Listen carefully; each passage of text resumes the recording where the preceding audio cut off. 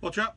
Today we're doing an unboxing. We're going to unbox one of the Roy Obi tools that I um, bought before.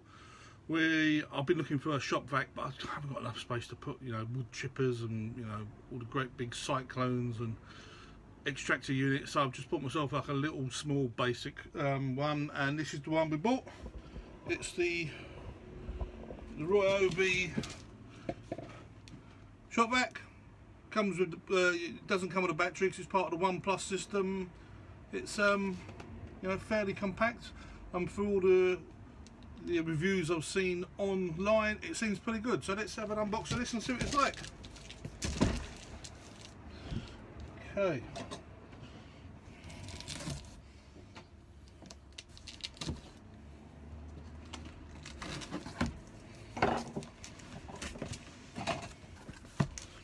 Do love these Opinel knives. They're called gentleman's knives.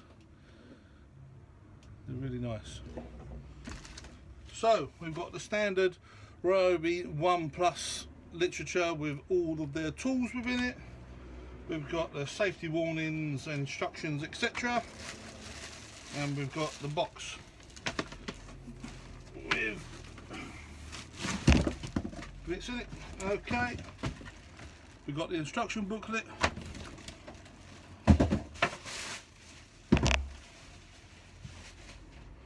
we've got aha.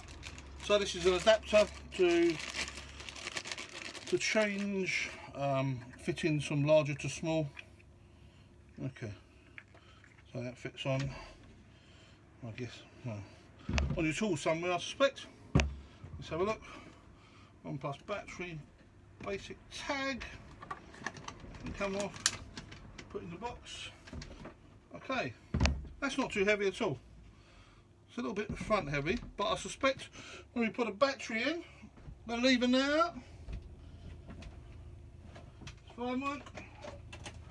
Here we are. So the battery goes in. Yeah, now it's fairly evenly weighted. Any charge in my battery? yeah, quite loud. Right, so let's take the battery out.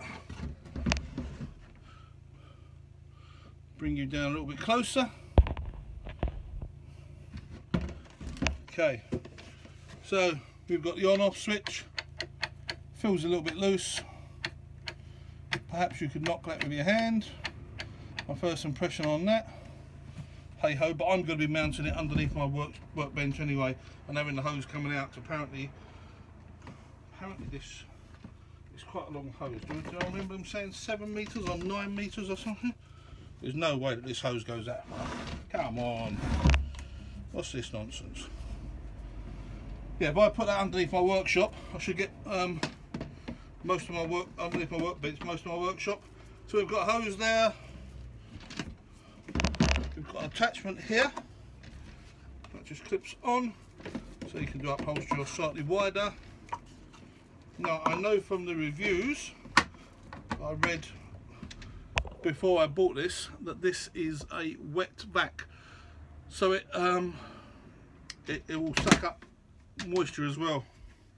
And it's got a fairly fairly large um fairly large receptacle for storing the water and um and dirt. Let's have a little look at that. So this holds 11 litres and suction is 1400 litres per minute weighs 4.1 kilograms that's without the battery on. You know you don't want to be carrying it around all day but it's not one of those type of um, shop vacs is it? You're just going to put it in the side somewhere and connect it to your um, power tools when you're using them. Um, easy catch on the front. Take that off. Okay okay. Doesn't hinge as a catch at the back as well. Okay so that comes off. And you can see here with the filter and you can see the ball there that confirms that it's a wet dry. Obviously as the water level rises the ball will rise up and block off the the you know the aperture there to stop any more moisture going in. It just quickly screws on there. That's easy enough to do. I'm not so sure these are whoops not in the camera. I'm not so sure these are wash washable. So it may be that when they're full up or knackered, you've got to buy a new one. Shouldn't think that's too much money. Just standard plastic underneath. Yeah, basically made, but that's all you want, isn't it? That's all you want. Right. Get that in there. That's your basic bit of plastic base. There's hold air, which would hold, I suspect, more than 11 litres. But once the ball valve comes up and cuts it off, that's probably what the 11 litres means. The adapter goes on the side there. Um, yeah, it's a nice little, it's a nice little shop vac. It's you know, it's fairly cheap. It's not too much. I can't actually remember how much it was, but I'll post a I'll post something in the comments on screen how much it cost. Now I know from watching Spectrum Geeks who reviewed this and I'll put a link to his video in the uh, top right hand corner he um, he noticed that there wasn't anywhere to store this on the unit and I agree yeah it's uh, there is nowhere for it to store it which is a downside but all of this information is all well and good, but you can read about this online. What you want to know in a review is how it performs. So uh, let me do a little bit of a test. I'll record some of that and I'll come back with my thoughts.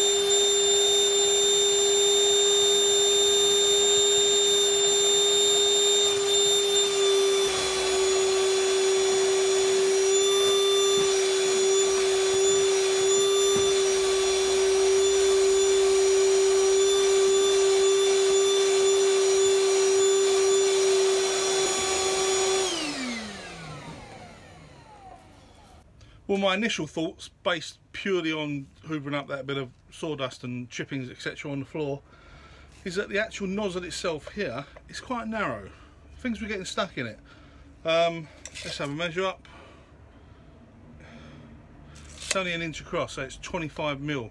It's not very large. This would be better if it was the same size as a conventional Hoover, which is, I don't know, what's that, 40 mil, something like that and then had an adapter to take it down if you needed it. So for me, first impression is this is quite narrow and some stuff was getting caught in there. But as it goes, the, the, the adapter to this on itself was okay. Using the, uh, the adapter that takes it down further, that clogged up a couple of times. I can see the benefit of this, obviously in small spaces, etc. But I wasn't overly impressed with this, to be honest with you. It worked better on its own. Then I tried this attachment, which is the, um, wow, what would you call it? It's Is it the um, upholstery attachment?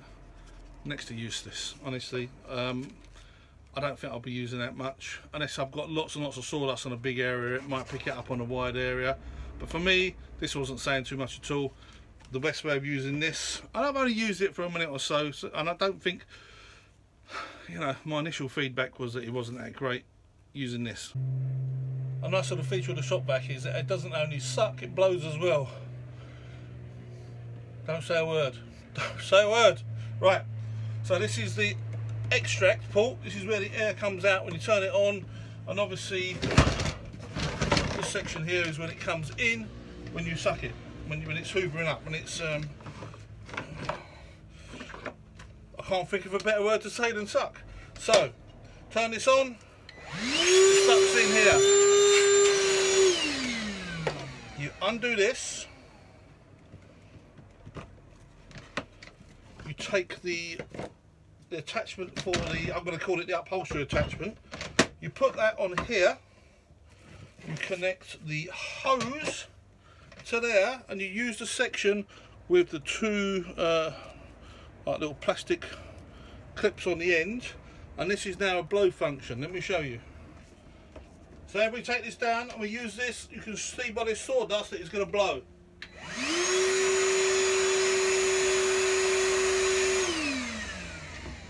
It's not a particularly powerful jet of air, however, it's enough to clean your workbench up.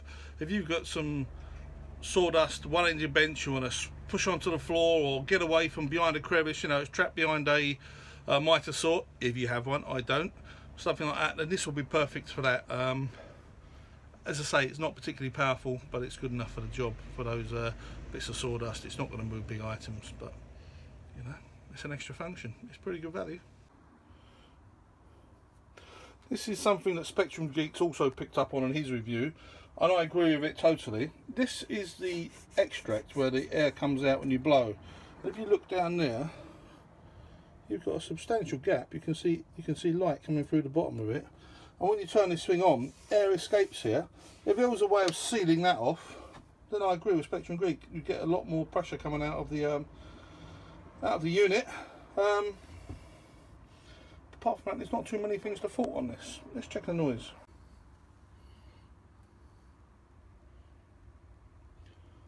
Okay, standing about a metre away, we, when I'm not speaking, we've got around, around about 40 decibels.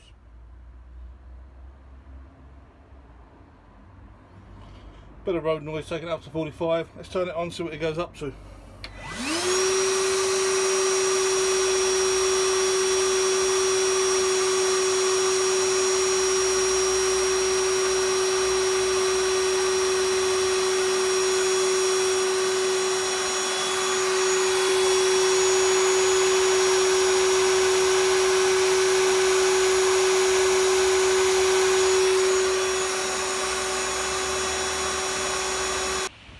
So using my trusty Parkside um, decibel meter, that's the first time I've used that. It cost about £9 from, um, where is it, from Lidl? Yeah, it's not too bad. Assuming it's accurate, of course. Um, we're getting about 80 to 85 decibels from about one metre away and around about 90 close up to the machine. Now when I was bending over earlier, um, hoovering up the sawdust on the floor, my head was about six inches away from it and it sounded pretty damn loud then. But obviously for my situation I'm not going to be that close to it generally.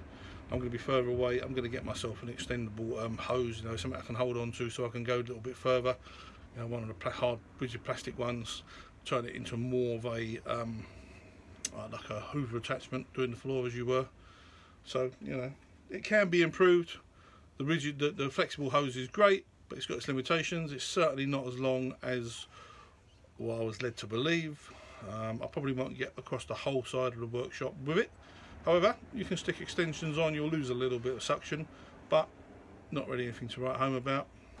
What I've got in here is a 5 amp hour battery, and when you have the 5 in there, as you can see, it's fairly level. The battery is just a mil or two below the surface. So I can balance things on there, I can use it, you know, putting things on.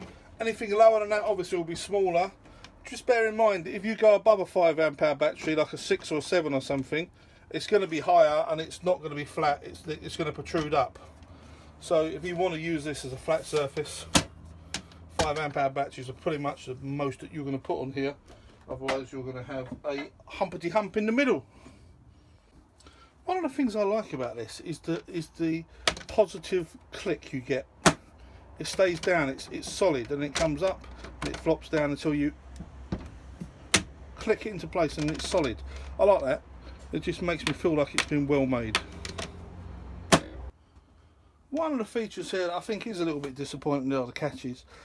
It, it doesn't take a lot of pressure for this to pop open and for that to, to fall off. You know once the pressure's off that just gets knocked and obviously this is open then I'd like to see a little bit more positive pressure required to open this. Or maybe a bigger lip so this doesn't fly off. So if it does get opened it sort of stays there connects a little bit more. For me that's a little bit of a downside but doesn't detract away from the unit at all. You know we're not paying 500 pound are we? Rookie